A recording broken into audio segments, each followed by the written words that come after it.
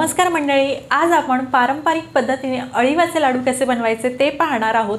हे लाडू जे आहेत ना ते थंडीमध्ये आवर्जून केले जातात. कंबरदुखी क किंवा केसांचा काही प्रॉब्लेम असतील तर त्यासाठी अळीवाचे लाडू हे उत्तम आहेत. तर हे अळीवाचे लाडू कसे बनवायचे चला तर पाहूयात. अळीवाचे लाडू बनवण्यासाठी इथे मी अळीव घेतलेले आहेत. हे अळीव जे आहेत ते स्वच्छ निवडून घ्यायचे आहेत कारण बऱ्याच वेळेला ह्याच्यात बारीक खडे वगैरे असू शकतात. तर स्वच्छ निवडून घेतलेले आहेत एक वाटी. म्हणजे एक वाटीला थोडेसे कमी आहेत. वजनी प्रमाण म्हणाल तर शंभर ग्रॅम आहेत. मी ह्या वाटीने सगळं साहित्य जे आहे ते मोजून घेतलेलं आहे. ह्या वाटीला थोडेसे कमी असे हे अळीव होते. तर ते घेतलेले आहेत. आता सगळ्यात आधी काय करायचं आहे? आपण ह्या कढईमध्ये तूप घालणार आहोत. एक छोटा चमचा इतकं तूप घालायचं आहे. आणि तूप घातल्यानंतर हे अळीव जे आहेत ते ह्याच्यामध्ये घालायचे आहेत. आणि गॅस जो आहे तो पूर्ण बारीक ठेवायचा आहे आणि बारीक गॅसवर हे अळीव भाजून घ्यायचं आहेत आणि हे भाजताना सतत असं हलवत राहायचं आहे कारण अळीव हे लगेच भाजले जातात. आणि एकदम जास्त पण भाजायचे नाही नंतर तर त्याची चव जी आहे ती कडवट लागेल.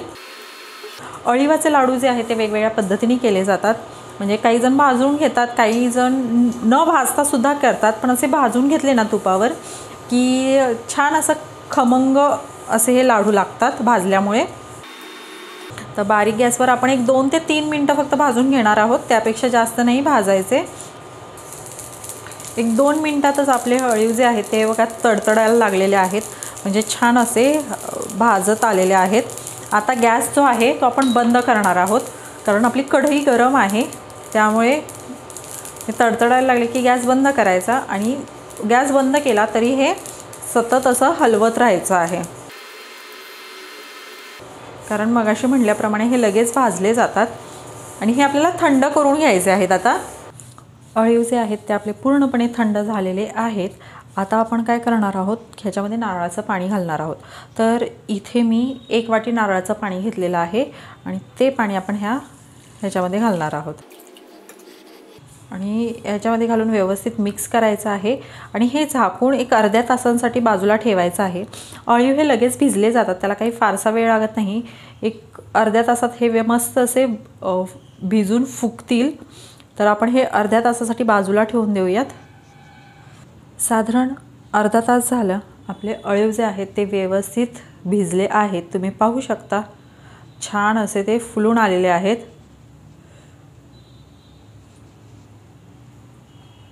हे पाहू शकता. मस्त हे भिजले गेलेले आहेत. आता आपण पुढची प्रोसेस करूयात.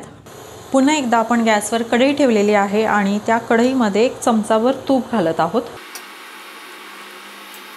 आणि तूप घातल्यानंतर ह्याच्यामध्ये आपण घालणार आहोत ड्रायफ्रूट्स तर इथे मी बदामाचे तुकडे घेतलेले आहेत आणि सोबतच काजूचे तुकडे. तुमच्या आवडीप्रमाणे तुम्ही ह्याच्यामध्ये ड्रायफ्रूट्स घालू शकता. किंवा नाही जरी घातलेत तरीही चालतात काहीच हरकत नाही. पूर्णपणे ऑप्शनल आहेत. हे थोडेसे आपण तुपावर परतून घेऊयात. तर इथे काजू आणि बदामचा पाहू शकतो. हलकासा रंग बदललेला आहे. आता आपण ह्याच्यामध्ये घालणार आहोत खोवलेला नारळ. तर इथे मी तीन वाट्या नारळ जो आहे तो घेतलेला आहे. म्हणजे मगाशी जी वाटी दाखवली त्या वाटीने मोजून तीन वाट्या हा ओला नारळ घेतलेला आहे. आता हे नारळ थोडासा आपल्याला परतून घ्यायचा आहे. अळीव जे आहे ते आवर्जून थंडीमध्ये खाल्लं जातं किंवा खावं असं म्हटलं जातं. कारण अळीव हे उष्ण असतात त्यामुळे आपल्या शरीरात उष्णता निर्माण करतं. तसंच ह्यामध्ये लोह कॅल्शियम भरपूर प्रमाणात असतं. त्याचबरोबर आपल्याला कंबरदुखी असेल त्यासाठीही चांगलं असतं. केस गळतीवरही चांगलं असतं. त्यामुळे हळीव जे आहे ते आपल्या खाण्यामध्ये ठेवलं पाहिजे.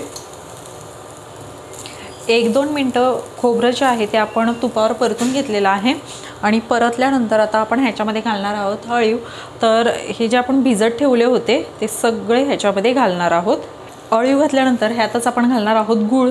तर इथे मी दोन वाट्या गूळ जो आहे तो चिरून घेतलेला आहे तो सुद्धा ह्याच्यामध्ये घालत आहे. आता गुळाचं प्रमाण जे आहे तुमच्या आवडीप्रमाणे तुम्ही कमी जास्त करू शकता. आता हे आपल्याला परतून घ्यायचं आहे.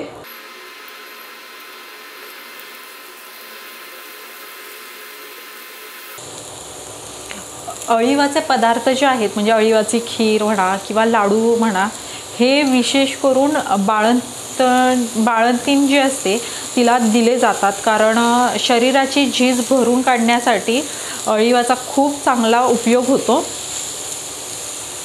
हळीवाचं मिश्रण जे आहे ते तुम्ही बघू शकता. आता कितपर असं सैलसर झालेलं आहे.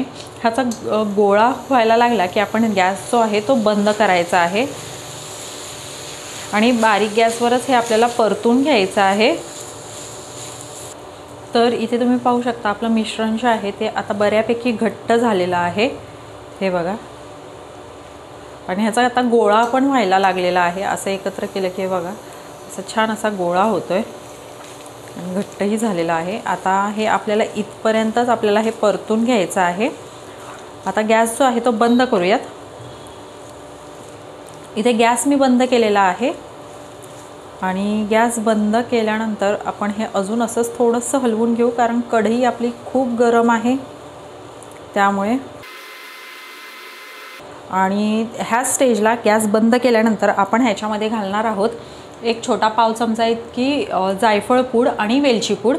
तर वेलची पूड ही ऑप्शनल आहे पण जायफळची पूड घालायचीच आहे. कारण एकतर जायफळचा खूप छान फ्लेवर येतो ह्याच्यामध्ये. आणि दुसरं म्हणजे आपण फक्त फ्लेवरसाठी घालत नाही. काय आहे हळीव जे आहे ते उष्ण असतं. त्यामुळे ते खाताना दिवसातून एकच लाडू खायचा असतो. पण जर अळीव खाण्यामध्ये जास्त आलं किंवा एकपेक्षा जास्त लाडू खाल्ला गेला तर तब्येत बिघडण्याची शक्यता असते पोट बिघडण्याची शक्यता असते. तर ते कंट्रोल व्हावं पोट बिघडू नये काही त्रास होऊ नये म्हणून आपण ह्याच्यामध्ये जायफळ वापरतो. तर हे वेलची आणि जायफळ व्यवस्थित मिक्स करून घ्या. आणि हे मिश्रण जे आहे ते पूर्णपणे थंड करून घ्यायचं आहे आणि थंड झाल्यावर मग ह्याचे लाडू आपण बनवणार आहोत. लाडूचं मिश्रण जे आहे ते पूर्णपणे थंड झालेलं आहे. आता आपण लाडू बनवायला घेऊयात. तर मध्यम आकाराचे असे आपल्याला हे लाडू जे आहेत ते बनवून घ्यायचे आहेत.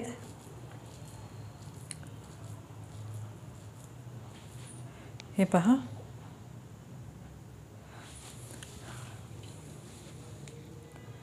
अशाच पद्धतीने आपण सर्व लाडू जे आहेत ते बनवून घेऊयात. तर इथे हे आपले मस्त असे पौष्टिक आणि पारंपरिक पद्धतीने अळीवाचे लाडू जे आहेत ते बनवून तयार झालेले आहेत. तुम्हाला मी हे बघा खूप छान असा हा लाडू झालेला आहे. तर तुम्हाला आजची रेसिपी कशी वाटली हे कमेंटमध्ये नक्की सांगा. आवडलं असेल तर लाईक करा शेअर करा आणि चॅनलवर नवीन असाल चॅनलला अजूनही सबस्क्राईब केलं नसेल तर नक्की सबस्क्राईब करा. वेळात वेळ काढून तुम्ही ही रेसिपी पाहिली त्याबद्दल धन्यवाद. पुन्हा भेटूयात अशाच एखाद्या छानशा रेसिपीसोबत तोपर्यंत बाय बाय